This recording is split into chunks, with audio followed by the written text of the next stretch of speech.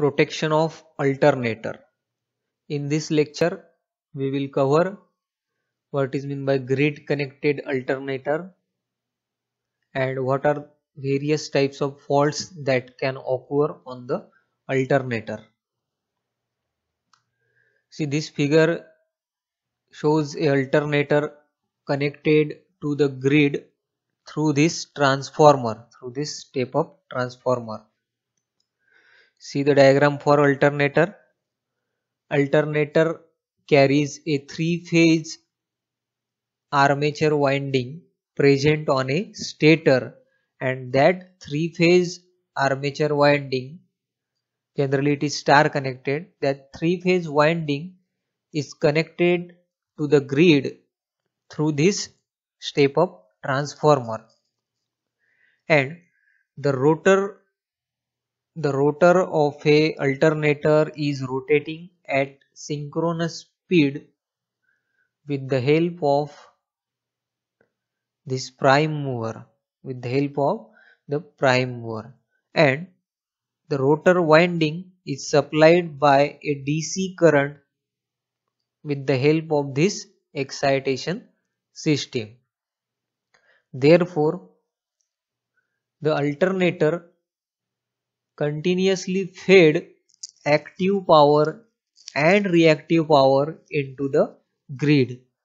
The reactive power fed into the grid depends on how much generator is excited and the active power fed into the grid depends on how much mechanical power is provided to the rotor of alternator but in order to feed this active power and reactive power into the grid this alternator has to be synchronized with the grid.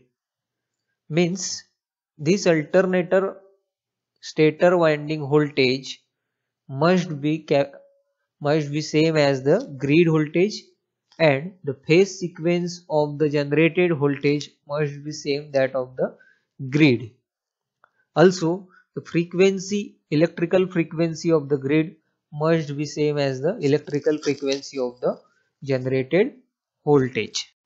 If a fault happens inside the alternator, then that fault is fed by alternator itself as well as it is fed by the grid. Therefore, this can damage the alternator and hence alternator must be isolated if there is a fault inside the alternator. Now we will see various faults that can occur on the alternator. The faults on the alternator are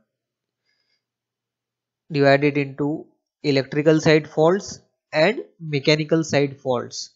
On electrical sides there is stator winding present on the stator and rotor winding present on the rotor. So the stator winding is it is a three phase winding three phase star connected winding therefore there is a possibility of phase to phase insulation failure and causes phase to phase fault inside the alternator. There is a possibility of insulation failure between phase any one phase and to the core of the alternator that leads to the earth fault in the stator winding.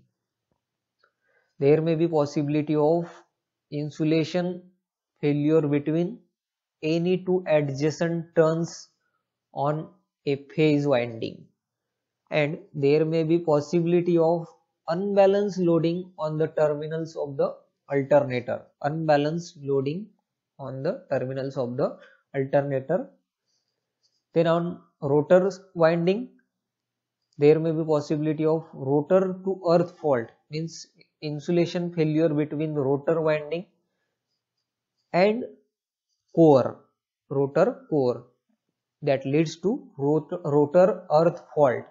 And also there is a chance of loss of the excitation to the rotor. Means the DC current fed to the rotor can be lost by any means.